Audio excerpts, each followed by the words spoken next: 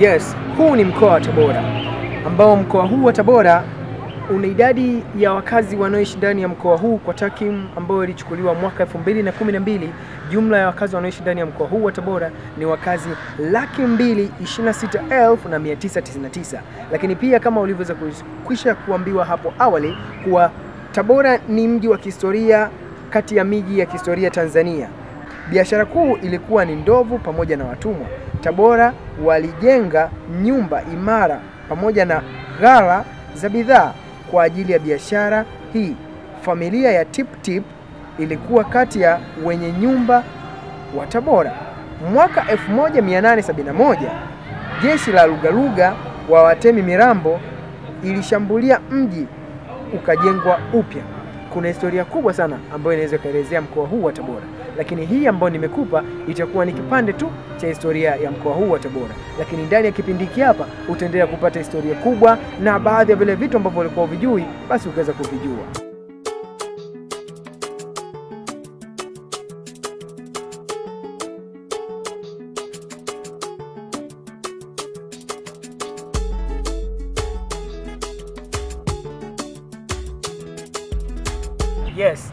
Tena kwenye kipindi chetu cha Internet Day. Kama kawaida, uko na mimi presenter wako Jerry ambaye nakuletea kipindi hiki hapa ambacho kinarushwa kila siku ya Jumatatu kwenye akaunti zetu za YouTube. Lakini siku ya leo tuko na mgeni ambaye ataenda kujitambulisha mbele yenu, ataenda kusema ye ni nani, alafu tutakuwa na mada ambayo siku ya leo itakuwa ni special mada ambayo tutaenda kuizungumzia kwa siku ya leo. Ama vipi? Ni presenter wako Jerry ambaye niko na mshika cameraman wangu Cruz Perfect. Au vipi? Eh bwana, inakuwaje ndugu yangu? Safi, Karibu sana. asante. Za kazi, Ah, namshukuru Mungu, michakato namshukuru Mungu pia. Eh, Bwana, Mnenda mbele ya kamera uweze kujitambulisha, wewe ni nani, Watanzania waweze kupata kukujua kuomba wewe ni nani, una wadhifa gani, alafu mambo mengine yatafuata hapo baadaye. Karibu sana. Kwa majina mimi naitwa Musa Hussein Musa Mdaki, katibu wa mbunge jimbo la Tabora mjini, Mheshimiwa Emmanuel Adamson Masaka. Yeah. Yeah. Nadhani kwa wale waliotega sikio vizuri watakuwa wameshaweza ku- kumwelewa ndugu yetu yeye ni nani na anafanya nini. Mheshimiwa, karibu sana. Asante. Siku ya leo kuna kimada fulani vya amazing ambacho tunajua tukiweza kuzungumza na wewe pengine tuna uwezo wa kupata angalau kile ambacho tunakitafuta. Karibuni, mazingira ni mazuri, hali ya hewa safi kabisa, huko asali ndo kama usiongee hivi. Eh bwana, si tunahitaji kujua historia fupi ya Tabora ikoje? Ah, kwa kifupi, Tabora ni mji wa kihistoria kama walivyosema, Yes. na historia yake imeanzia wakati wa uhuru. Ni mmoja kati ya mikoa ambayo imetoa mchango mkubwa sana kupatikana kwa uhuru wa nchi yetu ya Tanzania, na ndipo ambapo yalifanyika maazimio ya karata tatu, I think kama kula tatu Okay. yalianzia hapa mkoani Tabora na yakaweza kusambazwa nchi nzima. Kwa hiyo Tabora ni mkoa mkubwa kihistoria, japokuwa jina la mkoa wenyewe au ma, ma, ma, ma, maendeleo ya mkoa hayaakisi historia ya mkoa huu lakini kihistoria ni mkoa mkubwa sana. Okay. Tumeweza kusha kusikia kwamba ni mkoa ambao ulihusika katika maadhimio au katika mchakato mzima wa kutafuta uhuru katika nchi yetu, lakini pia kwa yule mtu ambaye labda haijui Tabora vizuri au kwa mtu ambaye leo hii kuna watoto dijitali wanazaliwa sasa hivi, mambo yake atakuta smartphone nini nini, Yeah. mambo ya historical kidogo yanakuwa yamewapita kando kidogo. Najua kila mkoa unaoenda kuna tamaduni zake, kuna mila zake ambazo kuna vitu vyao vya asili ambavyo vinapatikana katika kila baadhi ya mikoa. Je, Yeah. Labda hapa tamaduni za hapa asilia ya hapa ni nini hasa? Kwa maana kipi ambacho kinautambulisha mkoa wa Tabora? Yes, yani kitu ambacho hata leo hii mtu akiondoka hapa ni mzao wa hapa wa Tabora, akienda mkoa mwingine kwa tamaduni za hapa, kwa vitu vya hapa, anaweza akautambulisha kuwa huu mkoa wa Tabora au ametokea mkoa wa Tabora. Mkoa wa Tabora unatambulishwa na vitu vingi Okay. ikiwemo historia ambayo. Lakini kikubwa kwa sasa mnaotambulisha vinautambulisha mkoa wa Tabora, kwanza ni asali. Asali ni zao ambalo linaotambulisha vizuri mkoa wa Tabora. Kitu kingine ni zao la tumbaku. Kwa hiyo vitu viwili ni vitu vikubwa ambavyo vinautambulisha vina, vina sana mkoa wa Tabora. katika maeneo mengine. E, utakumbuka asilimia 60 ya tumbaku ya nchi hii inatoka mkoani Tabora. Kwa ni moja kati ya, ya, ya, ya mikoa mikubwa, ni moja kati ya vitu vikubwa vinavyotambulisha Mkoa wa Tabora. Lakini asali pia ni mkoa mkubwa na, na ndo wa kwanza kama sio Afrika, Mashariki na Kati unaoongoza kwa kutoa asali. Kwa hivyo hivi ni vitu vikubwa ambavyo vinatambulisha mkoa wa Tabora, tukiachana na historia. Nashukuru sana kuifahamu. Kwa wale wote ambao walikuwa hawawezi kujua, labda walikuwa wanajiuliza asali inatoka wapi, basi nadhani jibu utakuwa umeshalipata kuwa asali tumbaku inatoka wapi. Tunaona wazee wanavuta tumbaku, lakini ulikuwa hujui, basi inatokea ndani ya mkoa wa Tabora. Fika ujionee vitu vyote hivyo ndani ya mkoa huu. Tunarudi kwako bwana. Kitu kingine ambacho labda nilikuwa napenda kukijua au na Watanzania pia wanapenda kukitambua katika mkoa huu hapa, tunajua kwamba ukienda baadhi ya mikoa mingine wanaweza kukwambia labda chakula asilia cha pale ni chakula fulani, au wameenda umeenda sehemu fulani wanakwambia ukakuta chakula ambacho hukiwahi kukila. Kwa mfano unaweza ukaenda Moshi kule, kwa watu wa kule unaweza ukafika ukapewa macharari. Macharari ni mahindi ambayo yamechemshwa kama makande, lakini hayana maharage. Unakula na tunda moja ambayo inaitwa parachichi. Ni chakula kitamu sana ambacho nilishai kukila maeneo kama yale. Je, ukija huku Tabora, mkoani Tabora, kuna chakula gani cha asilia ambacho Tabora kuna vyakula vingi sana vya asilia. Kuna kuna matoborwa eh, eh, kuna sansa eh, kuna nswalu ah, kuna mrenda, nafikiri karibia nchi nzima karibia nchi na pia mrenda pia unapatikana hapa, lakini pia kuna karanga. Unajua watu wa Tabora wana, wana vitu vingi vinatengenezwa kwa, kwa, kwa, kwa karanga tofauti na mikoa mingi kama hivyo ulisema, mikoa wa kusini huko pwani wazetu wanatumia nazi, lakini sisi hapa Tabora watu wengi wanatumia karanga kama kiungo. kama kiungo kwenye mapishi yao, na sijui kama ushawahi kuonja kisamvu cha karanga ni kizuri mno, na kuna chakula moja ki- kinaitwa mchanyanto ni cha ni ambacho pia na chenye karanga inatumika. Nafikiri ni, ni kuna maboga, ni mchanganyiko kati ya maboga, viazi na karanga.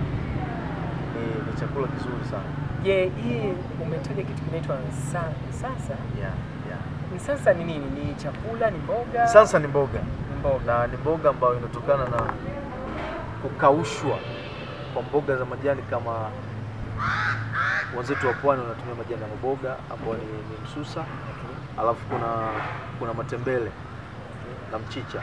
Hivi vitu vinakaushwa alafu vina vinaanikwa, vikishakauka vinakuwa tayari kwa- ajili ya tayari kwa kutengenezwa kama chakula. Okay. Bwana, kama mlikuwa hamtambui, basi hivyo hapo ndio vitu ambavyo vinapatikana huku. Siku moja ujaribu kula kitu ambacho kinatengenezwa na karanga, uone mapishi ya karanga yalivyo. Lakini yote unayopata wapi? Ni ndani ya mkoa wa Tabora.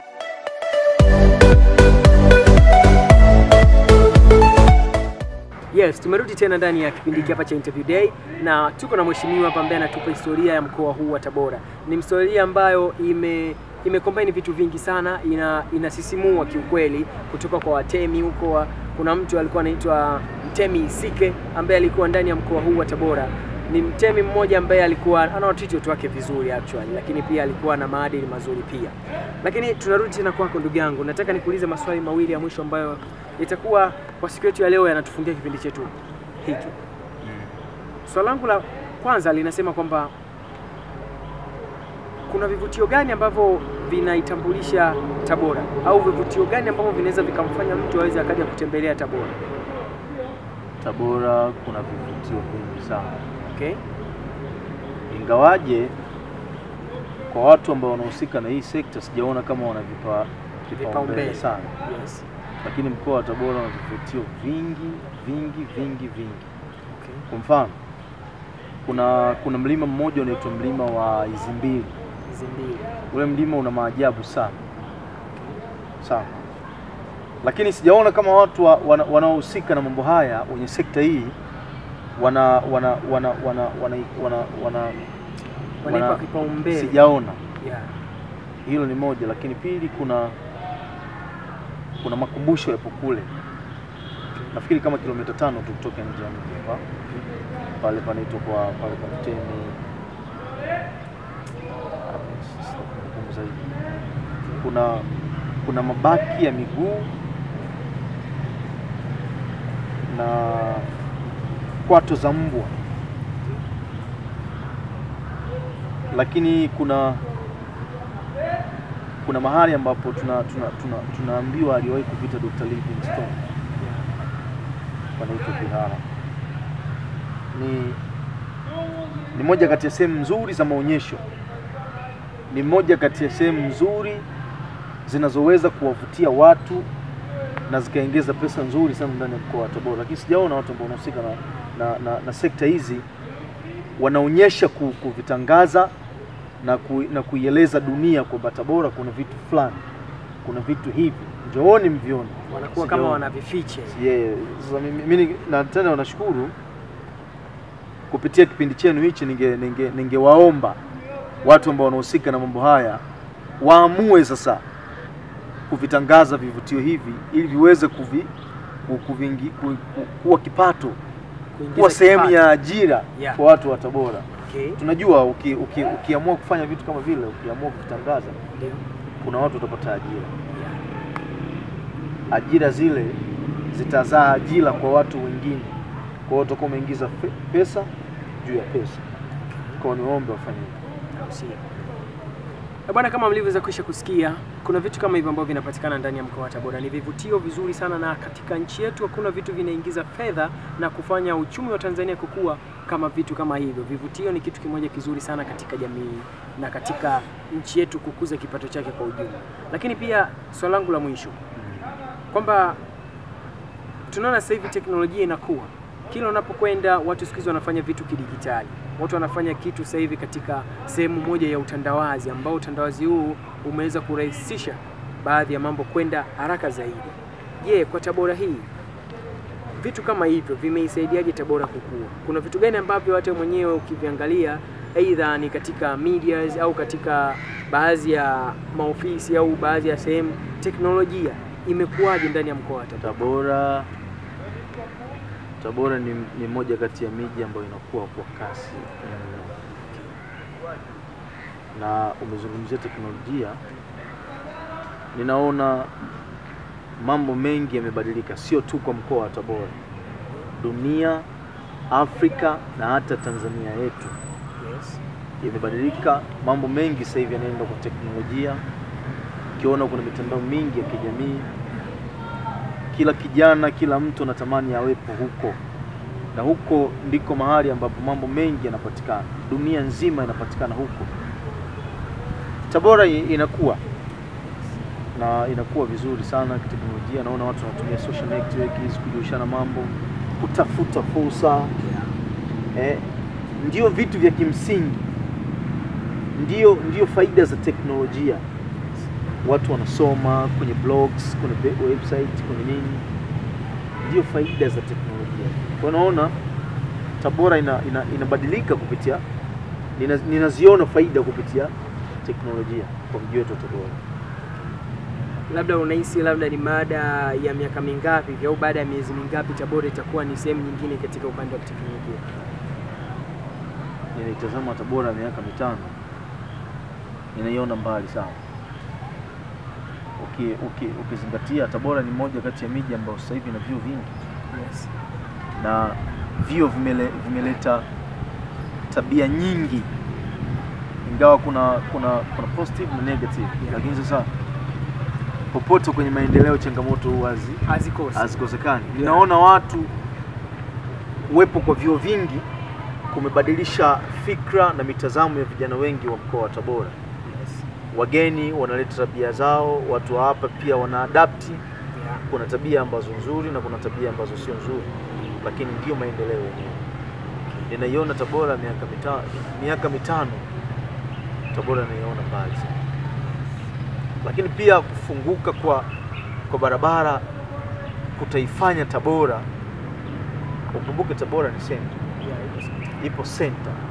Ukitaka kwenda Mwanza, ukitaka kwenda wapi, sijui kwenda wapi, Burundi, wapi, Tabora lazima utapita.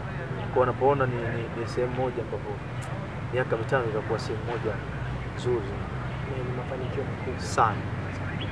Bwana, tunashukuru sana kutupa historia fupi hii ya Tabora na watu kuweza kujua nini haswa kinapatikana Tabora au ni kitu gani nikienda Tabora nitaweza kujifunza. Labda nikujulishe tu mpenzi mtazamaji wa kipindi hapa cha Interview Day, mkoa wa Tabora ni mkoa ambao ni mikoa ambayo watu wanachakarika kidogo katika kutafuta maisha, lakini pia ni na historia nzuri. Labda tunaweza tukukaribisha ndani ya mkoa huu hapa na uweze ukajionea vitu vingi sana ambavyo vinapatikana hapa ndani ya mkoa huu wa Tabora.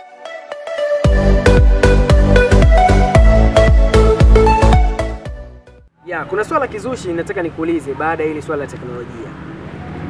Pengine inaweza likawa linafufua hisia ambazo zilikuwa zimejificha ambazo watazamaji wa kipindi hiki hapa cha Interview Day walitamani kuzijua au walikuwa na shauku ya kujua, kama awali ulivyoweza kujitambulisha kwamba wewe ni katibu wa mbunge wa jimbo hili la Tabora mjini, naongelea manispaa, si ndio?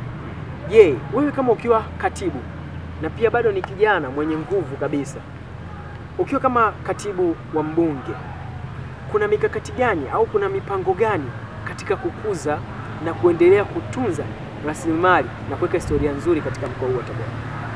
Kumbuke Mheshimiwa Emmanuel Adamson Mwakasaka ni mbunge ambaye anamiliki kata 29, Okay. vijiji 134, Okay. vitongoji 56, Yes. amini mitaa 134, Okay. vijiji 41. Vyote vipo katika jimbo moja linaloshughulikiwa na mtu mmoja. Nini mipango yetu kama ofisi ya mbunge? Tunajua karne hii ya ishirini na moja karne yenye, yenye changamoto nyingi, Sana. changamoto mpya. Nyingi sana. Ni lazima uwe na maarifa mapya kwa namna ya kukabiliana na changamoto hizo. Okay. Ah, kama ofisi Yes. tunajua ajira ni tatizo dunia nzima. Hatuwezi kumaliza, lakini tunaweza kupunguza. Kwa kiasi. Nakumbuka wakati wa kampeni, Mheshimiwa mbunge alikuwa anaahidi kwamba watu wajimobilize, wajikusanya wawe kwenye groups. Kumsaidia mtu mmoja mmoja ni swala gumu sana.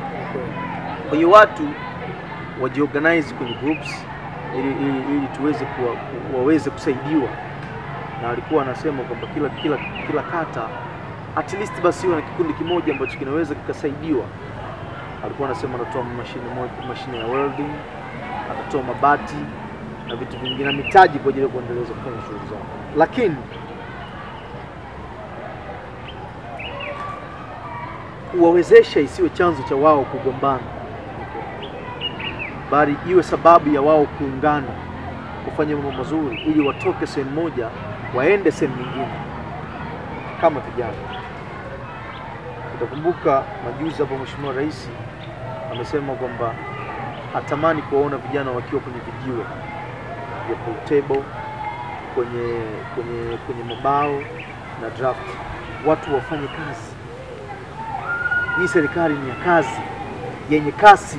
Yeah, yeah. Kwa hiyo tumejipanga kwa hiyo. Yeah.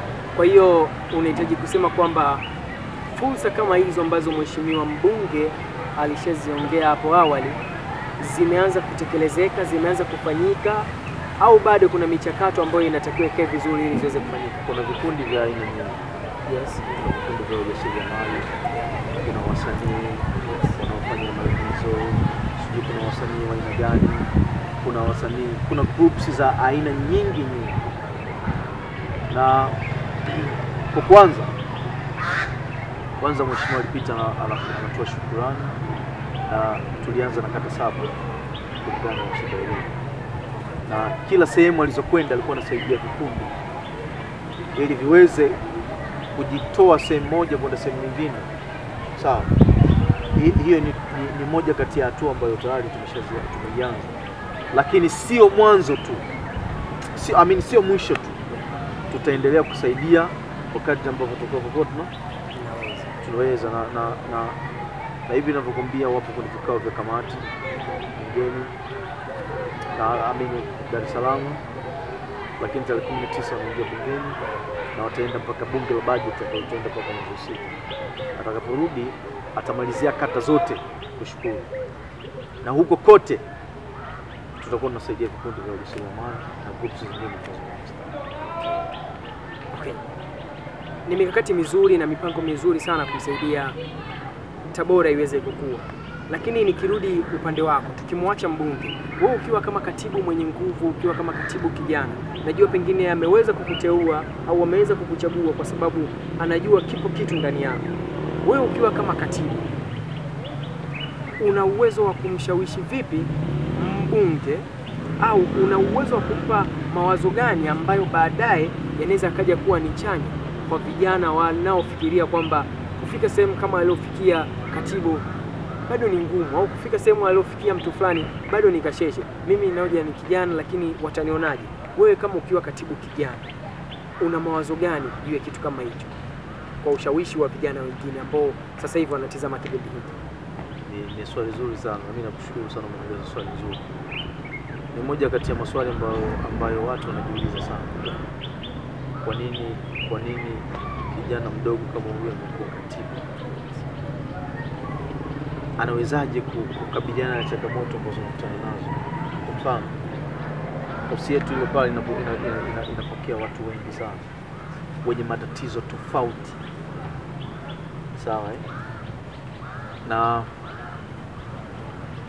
wakati mwingine kila mtu unajua, kila binadamu ana, ana akili yake Yeah. na kila binadamu ana, ana, ana, ana mtazamo wake.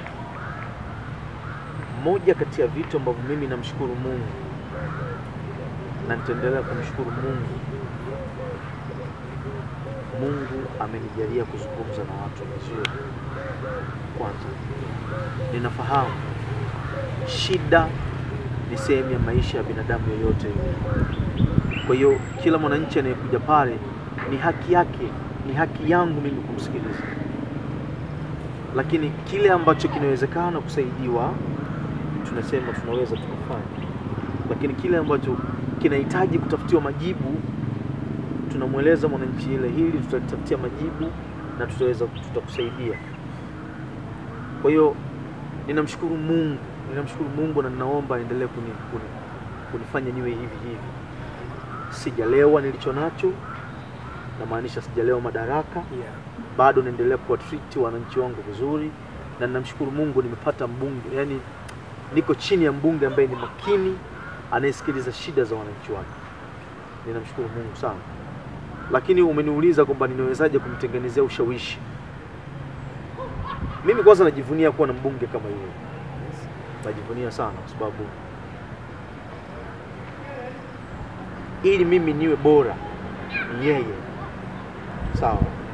Kama mimi nakuwa napokea tu shida za wananchi alafu nampelekea, mwisho wa siku hakuna chochote ambacho kinaendelea, mimi lazima nitaonekana mbaya, kwamba watu wananiletea shida zao, lakini mimi ninashindwa kuzipeleka kwa mheshimiwa. Lakini kumbe sio, mimi napeleka, lakini utekelezaji ndio unakuwa mzito. Lakini namshukuru Mungu na namshukuru mheshimiwa, ni mtu mwelewa, ni mtu makini, ni mtu ambaye anaongoza watu kwa nia ya dhati kabisa, ni mtu ambaye anawasaidia watu. Kuna watu wa aina mbili, kuna viongozi wanaotaka uongozi na kuna watu ambao wanataka kuwaongoza watu. Hao ni watu wawili tofauti, sawa. Yule mzee Mheshimiwa Emmanuel Jackson Masaka amechukua uongozi kwa ajili ya kuwaongoza watu. Sielewa. Ni mtu ambaye anaamini yupo kwa ajili ya kuwatumikia watu. Okay. Mimi namshukuru sana, sipati tabu, sipati shida ya matatizo ya wananchi, nikimweleza natekeleza lililo ndani ya uwezo wake, nasema yes, tunaweza kufanya, lakini lile ambalo hatuwezi kufanya kila kitu Tunaomba muda. zamu kwa zamu. Yeah, tunaomba muda tunafanya tumeshafanya mambo mengi mengi mengi hapa soko kuu soko la tabora takriban miaka kumi iliyopita kulikuwa kuna mtandao wa maji lakini kupitia mheshimiwa Emmanuel Damson Mukasaka tumerudisha mtandao wa maji kuna mabucha na huduma ya maji inaendelea pale lakini si hayo tu. Tumefanya mambo mengi. Tumeleta vifaa tiba kwenye hospitali ya Kitete visipungua milioni tatu na kidogo. Tulete gloves, tukaleta wheelchair kwa ajili ya wagonjwa, tukaleta Cotton Hill, kuna vi- vikamba kwa ajili ya kufungia kwa.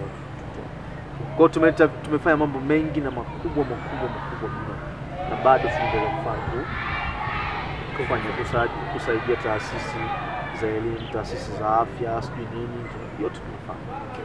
Kwa hiyo motisha ya kijana mwenzio kama wewe ambaye anatamani siku moja iwe kama wewe, unamwambiaje? Yaani unampa maneno gani ambayo akikaa akiafikiria anasema kweli katibu kanipa kitu ambacho naweza nikakifanya? Kwa kifupi, unamwambiaje? Ah, ninagundua Okay. na of course ipo hivi, vijana wengi tunakata tamaa, lakini vijana wengi hatutaki kujituma, hatutaki kutumia akili zetu, maarifa yetu aliyotupatia Mwenyezi Mungu. Kufeli shule sio kufeli maisha, Kabisa. tujitume. Kama wewe umeamua kujiwekeza kwenye shule, basi soma kwa bidii.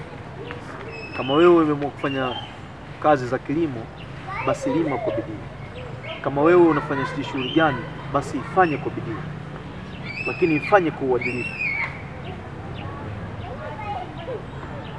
Kuwa mbunifu, creativity. Kila kitu kinataka ubunifu, kinataka uadilifu, kinataka maarifa ya kutosha. Hakuna mtu ambaye amezaliwa anajua, hakuna mtu ambaye amezaliwa kuwa fulani. Ni jitihada na kujituma kwetu. Nadhani kwa mwenye sikio amesikia, na kwa yule ambaye bado anafikiria kusikia, ipo siku moja ataweza kusikia. Mheshimiwa Katibu ameweza kusema vitu vizuri sana, na kama umeweza kuvisikiza kwa makini, ukiwa kama kijana, kuna msemo unakwambia ukiwa na kipaji, kwa nini ulale njaa? Basi changamkia fursa, wakati ndio huu hapa. Kuna, kuna maneno mengi ya Kiswahili ambayo yanamfanya yana- yana- kijana amke. Yes. Kuna, kuna, kuna maneno kuna neno moja imesema kwamba wanasema kwamba fahari ya ujana ni nguvu ulizonazo, Okay. lakini fahari ya uzee ni mvi zenye fanaka, na usipotokwa na jasho jingi ujanani, basi jiandae kutokwa na damu nyingi uzeeni. Hizi zote ni kauli za kutujenga, za kutufanya tufanye mambo yetu kwa bidii. Tufanye kazi kwa bidii, tujitume, tuwe waadilifu, tuwe waaminifu, kutunza siri za watu ni vitu vizuri sana. Ya, nadhani kwa hayo mimi sina la ziada la kuongeza. Ni mpaka next time ambako tutaondoka ndani ya kipindi hapa cha interview day. Nilikuwa na mimi presenter yako Jerick ambaye niko na mshika cameraman wangu Cruise Perfect. Mpaka next time tutadondoka tena na kukwambia tuko na nani, tunafanya vitu gani, alafu vitakuwa ni amazing. Usibanduke au vipi? Eh bwana mkali, Naam. mimi nakushukuru sana. Yaani kama uendelee na michakato hivi ya mbunge, Ah, alafu mambo yote yakae sawa. Nashukuru sana rafiki yangu. Au si? Asante. Haina tatizo. Ah. Sasa mkali, mpaka next time. wali kitabu yuko na mie eh, voice music yuko na mie yuko na mie eh, eh, yuko na mie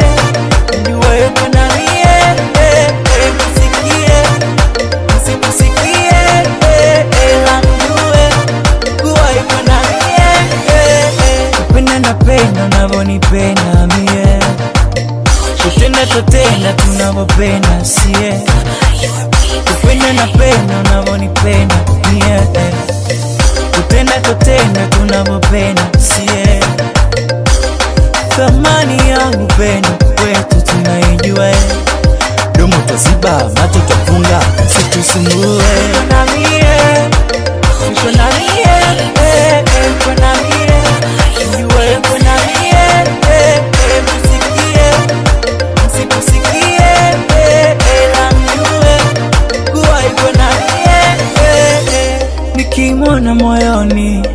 hisi hewa lile joto pembeni na hisi ngekewa tugomanishe tukosanishe yuko na mie tukusanishe, tukutanishe, tajijua nyie moyo wangu wote ameubeba yeye, sina mwingine yono impendaye. Usilete maneno mambaya kwangu, sitaelewa.